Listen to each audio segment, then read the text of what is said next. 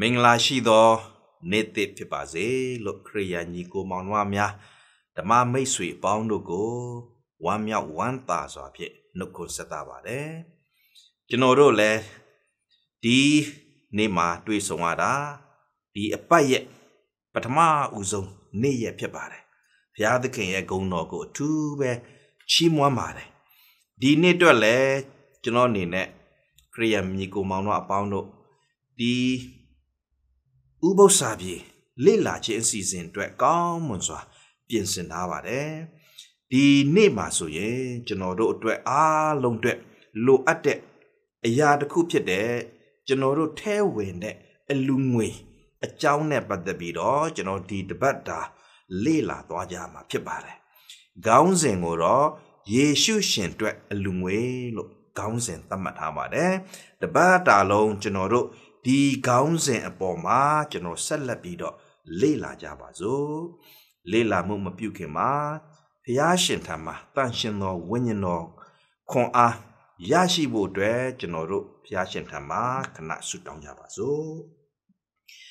ကောင်းငင်ဘုံ၌ရှိတော်မူသောကျွန်ုပ်တို့၏ကိုးကွယ်ခိုလုံရာယေရှုရှင်ကယ်တင်ရှင်ဖန်ဆင်းရှင်အဖမြတ်စွာဘုရားသခင်ကိုရရှင်အားအထူးပင်ယေရှုတင်ပါ၏ သားသမီးတို့အားနှုတ်ကပတ်တော်ထဲမှအလင်းတရားများကို ပေးသနာတော်မူသည့်အတွက်အထူးပင်ကျေးဇူးတင်ပါ၏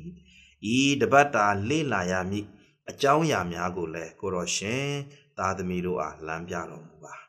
သားသမီးတို့၏ဉာဏ်ပညာအားဖြင့်မသိနိုင်သောအရာများကိုလည်းတန်ရှင်သောဝိညာဉ်တော်အားဖြင့်သွန်သင်လမ်းပြပို့ဆောင်ပေးသနာတော်မူအကြောင်း ဤကြားနာသောပရိသတ်တူးစီတူးစီပေါ်၌လဲကိုရောရှင်ဤငြိမ်သက်ခြင်းဝမ်းမြောက်ခြင်းကျမ်းမာခြင်းကောင်းကြီးမင်္ဂလာပြပြသွန်လောင်းပေးသနာတော်မူအကြောင်းခရစ်တော်ဤနာမတော်အဖျင်ယုသေးလေးမြတ်စွာဆုတောင်းပါ၏ပါအာမင်ကျွန်တော်တို့အတွက်ဒီတပတ်တာလေ့လာရမယ့်အစီအစဉ်အားဆိုရင်ကျွန်တော်အသင်းတော်အတွက်ထဲဝင်တဲ့အလူငွေများအကြောင်းပဲဖြစ်ပါတယ် ကျွန်တော်တို့ပြီးခဲ့တဲ့အပတ်နဲ့ကျွန်တော်တို့ဒီအပတ်နဲ့ကျွန်တော်တို့ဆက်ဆက်ရမယ်ဆိုရင်ကျွန်တော်ပြီးခဲ့တဲ့အပတ်မှာဆိုရင်တော့ကျွန်တော်တို့ဆယ်ဖို့တဖို့အကြောင်းကိုဆိုရင်ကျွန်တော်တို့အသေးစိတ်လေ့လာပါတယ်ဒီဆယ်ဖို့တဖို့အပတ်မလာခင်မှာဆိုရင်ဘုရားသခင်ရဲ့ဗြိဉ္ဉ်အကြောင်းကိုကျွန်တော်လေ့လာတယ်ဆယ်ဖို့တဖို့အဲဆိုရင်လည်းကျွန်တော်တို့ဘုရားသခင်နဲ့ဗြိဉ္ဉ်ပြုတဲ့ထဲဓမ္မလည်းဆိုရင်လည်းပါပါတယ် ဒါအပြင်ကျွန်တော်ဆယ်ဖို့တဖို့ပြီးတဲ့အခါမှာဆိုရင်ဣတိလလူမျိုးတွေဒီဓမ္မဟောင်းခေတ်အချိန်ခါတော့ဆယ်ဖို့တဖို့သာမကပဲပူဇော်သက်ကနော် offering ဒီအရာတွေပါဆိုရင်တဲ့ဘုရားသခင်ရဲ့ဗိမာန်တော်ဘုရားသခင်ရဲ့တဲတော်ကိုဆိုရင်ယူဆောင်ပြီးတော့ဘုရားရှင်ထံစက္ကအနန္တယ်ဆိုတဲ့အကြောင်းအရာလေးကိုဆိုရင်တွေ့ရပါတယ်ကျွန်တော်ဒီခေတ်ဒီအခါမှာတော့ကျွန်တော်တို့ အလူတော်ငွေအားဖြင့်ဟောကျွန်တော်တို့ပြောဆိုကြတာဖြစ်ပါတယ်ဒါကြောင့်ဒီနေ့မှာကျွန်တော်တို့ဒီအလူငွေနဲ့ပတ်သက်ပြီးတော့ကျွန်တော်ဒီတစ်ပတ်တာလုံးလေ့လာသွားကြပါစို့ကျွန်တော်တို့ဒီနေ့မှာဆိုရင်ရွေးချယ်ထားတဲ့ကြံချက်ကိုစာလံကြံခန်းကြီး116အငယ်7မှ14မှာဆိုရင်တွေ့ရပါတယ်အပိုင်းငယ်7 14ငါ၌ ထာဝရပြုတော်မူသောဂျေဇုအလုံးစုံတို့ကိုအဘယ်သို့ဆက်ရမည်နည်းကဲတင်ချင်းခွက်ဖလားကိုကင်ယူ၍ထာဝရဘုရား၏နာမတော်ကိုပထနာပြုမည်ထာဝရဘုရားအားတစ္ဆာဂတိထားသည့်အတိုင်းထာဝရဘုရား၏လူများရှေ့၌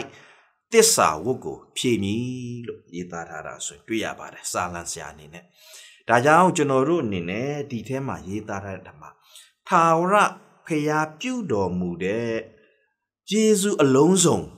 နော်ထာဝရဘုရားကျွန်တော်တို့အပေါ်မှာပြုတဲ့ဂျေဇုအလုံးစုံကိုနော်ကျွန်တော်တို့ဘယ်လိုသတ်မှတ်မလဲ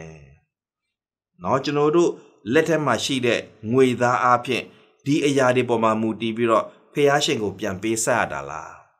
နော်ဒီမှာရေးသားတဲ့ထက်မှာဂျေဇုအလုံးစုံလို့ပြောတဲ့အခါမှာဆိုရင်ဒီထက်မကပို့ပြီးတော့နက်နေတယ်ဆိုတာကျွန်တော်တို့တွေ့ရပါတယ် ကျွန်တော်တို့တင်းသူတင်းသားများအနေနဲ့ဆယ်ဖို့တဖို့ပေးဆက်တာတဲ့အပြင်အလူငွေများလဲကျွန်တော်ရှိပါတယ်ဆယ်ဖို့တဖို့အနေအားဖြင့်ဘုရားသခင်ကဆယ်ပုံတပုံကိုနော်ဆယ်ရာခိုင်နှုန်းကို ပေးပြီးတဲ့အချိန်မှာဆိုရင်ကျွန်တော်တို့ရဲ့ဝင်ငွေကျွန်တော်တို့ရဲ့ဒီတိုးတက်လာတဲ့နော်ကျွန်တော်လုပ်ငန်းမှာရရှိတဲ့အမြတ်ငွေဒီအရာဆိုရင်90ရာခိုင်နှုန်း နော်ကျွန်တော်တို့ပိုင်ဆိုင်ခွင့်ရှိပါတယ်အလူစေနာရက်ရောခြင်းအလျောက်နော်ဖျားရှင်ရဲ့သားသမီးများဆိုရင်တဲ့ဒီကြံတဲ့အလူငွေ90ရာခိုင်နှုန်းမှာလဲတဲ့ကျွန်တော်စိတ်ရှိသည့်အတိုင်းအလူမျိုးစုံကိုဆိုရင်လူဒန်းထည့်ဝင်နိုင်ပါတယ်ဆိုတော့ရေးသားဖော်ပြထားပါတယ်။ဒါကြောင့်ပူဇော်တက္ကများကိုဆိုရင်တဲ့ဓမ္မဟောင်းကျမ်းနဲ့ဓမ္မသစ်ကျမ်းမှာဆိုရင်ဖော်ပြထားပါတယ်တဲ့။ နော်ဒီအရာကြတော့တဲ့ဆယ်ဖို့တဖို့နဲ့မတူပဲနဲ့တဲ့ပူဇော်တက်ကနဲ့ပတ်သက်ပြီးတော့ပုံသေးစီးမြင်းများမရှိပါဘူးတဲ့။နော်ကျွန်တော်ဆယ်ဖို့တဖို့ဆိုရင်ကျွန်တော်သတ်မှတ်ထားပြီးသားဖြစ်ပါတယ်။ဆယ်ပုံတပုံဆယ်ရာခိုင်နှုန်းကဆိုရင်ဆယ်ဖို့တဖို့အနေနဲ့ကျွန်တော်သတ်မှတ်ထားတာဖြစ်ပါတယ်တဲ့။ဒါပေမဲ့ပူဇော်တက်ကများကကြတော့တဲ့ပုံသေးစီးမြင်းများမရှိပါဘူးတဲ့။ဒါ ပူဇော်ရတဲ့ကျွန်တော်ရည်ရွယ်ချက်เนาะအထူးသဖြင့်ကျွန်တော်အလူငွေပေးတဲ့ထဲမှာဆိုရင်ဒီရည်ရွယ်ချက်များစွာရှိတယ်ကျွန်တော်ဘုရားသခင်ထံမှာကျွန်တော်ယူဆောင်လာတဲ့ပူဇော်တက်ကောက်ယူဆောင်လာတာသူသဖြင့်ဘုရားသခင်ကိုပြန်လဲပြီးတော့ဂျေဇုတင်တဲ့အခါမှာဂျေဇုတင်ခြင်းအလူငွေကျွန်တော်ထည့်တယ်။အော်နောက်ပြီးတော့ကျွန်တော်တို့အပြစ်ကိုဖြေလွတ်တဲ့အတွက်အပြစ်ဖြေရာရစ်အတွက်နော်အပြစ်ဖြေဖို့အတွက်ကျွန်တော်တို့အလူငွေတွေဆိုရင်ယူဆောင်လာခဲ့တယ်ပူဇော်တက်ကတွေယူဆောင်လာခဲ့တယ်။ နောက်ပြီးတော့ကျွန်တော်စင်ရဲသူစင်ရဲသားများအတွက်နော်ပေးဖို့အတွက်လူဒန်းဖို့အတွက်ကျွန်တော်အဲ့ဒီရည်ရွယ်ချက်နဲ့အလူငွေကိုဆိုရင်ယူလာတာရှိတယ်နောက်ပြီးတော့တချို့ပူဇော်သက်ကကြတော့ကျွန်တော်ဓမ္မဟောင်းချိန်မှာဆိုရင်တဲတော်တို့နော်နောက်ပြီးတော့ဗိမာန်တော်ပြန်လဲမွန်းမှန်ပြန်လဲပြီးတော့ထိမ့်သိမ်းဆောက်ရှောက်ဖို့အတွက်ကုန်ကြငွေအတွက်လည်းယူလာတာရှိပါတယ်ကျွန်တော်ဒီခေတ်အချိန်ခါမှာဆိုရင်ကျွန်တော်တို့တွေမွေးနေ့အတွက် နော်လူဒန်းတာတွေရှိတယ်နောက်ပြီးတော့တခြားဒီအလူတော်ငွေပေါ့နော်ဘုရားသခင်ပေါ်ယေရှုတင်ခြင်းအလူငွေနောက်တခြားအကြောင်းအရာနဲ့ပတ်သက်ပြီးတော့အလူငွေတွေမြောက်များစွာကျွန်တော်တို့ပေးကမ်းလူဒန်းကြတာဆိုရင်တွေ့ရပါတယ်။ဒါကြောင့်ဘုရားရှင်သွန်းလောင်းခဲ့တဲ့ကောင်းကြီးမင်္ဂလာများကိုကျွန်တော်ရေတွက်မယ်ဆိုရင်တဲ့နော်ကျွန်တော်တို့အနေနဲ့ဘုရားသခင်ကိုပိုးပိုးပိုးပြီးတော့ပေးခြင်းတဲ့စိတ်ကဆိုရင်ပေါ်လာမှာဖြစ်ပါတယ်တဲ့။ နော်ဘုရားရှင်ရဲ့ကျွန်တော်တို့ပေါ်မှာပြုတော်မူတဲ့ကျေးဇူးတော်အတွက်ကိုဆိုရင်တဲ့ကျွန်တော်တို့ပြန်ပြီးတော့နော်တံပြန်ပေးခြင်းတဲ့စိတ်ကဆိုရင်ပိုးပြီးတော့ပြင်းပြလာမှာဖြစ်ပါတယ်တဲ့။နော်အထူးသဖြင့်သခင်ခရစ်တော်ရဲ့ကျွန်တော်တို့အတွက်စွန့်လွတ်ပြီးတော့အသေးခံခဲ့တဲ့ဒီကျေးဇူးတော်ကိုဆိုရင်တဲ့ပို့ပြီးတော့လည်းအလေးထားလာမှာဖြစ်ပါတယ်တဲ့။ယောဟန် ဩဝါဒစာပထမဆုံးခန်းကြီး၄အငယ်၁၉မှာဆိုရင်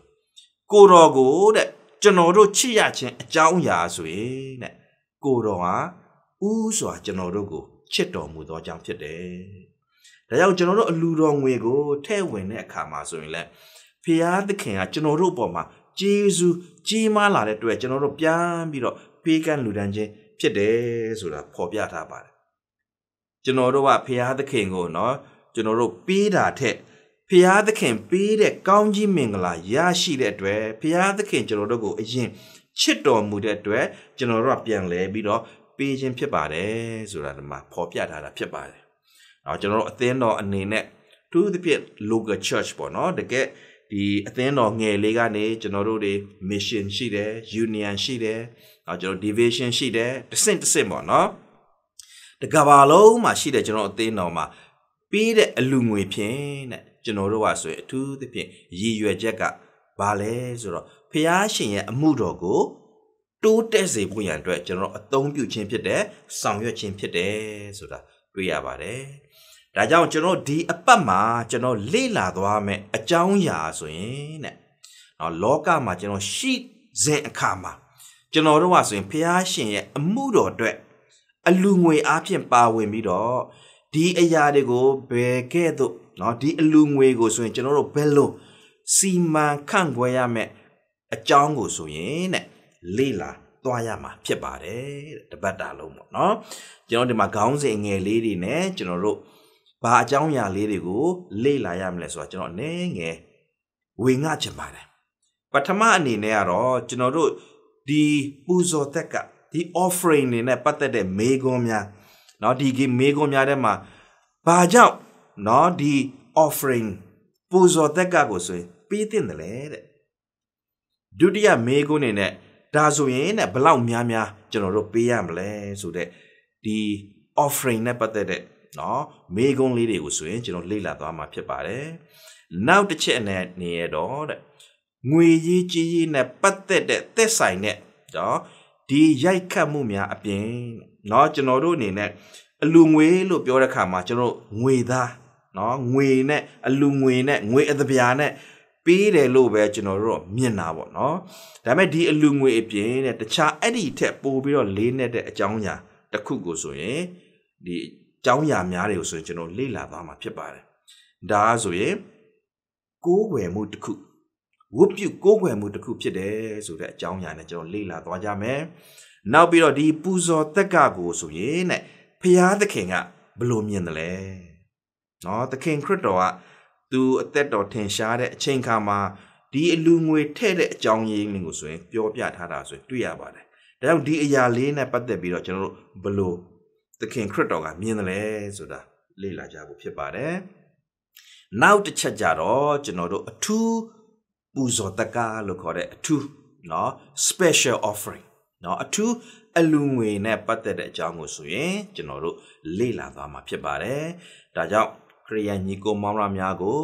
ဖိတ်ခေါ်ပါတယ်။လာမယ့်ရက်များရက်များမှာလည်းဒီခေါင်းစဉ်အောက်မှာကျွန်တော်တို့အလူငွေအကြောင်းနဲ့ပတ်သက်ပြီးတော့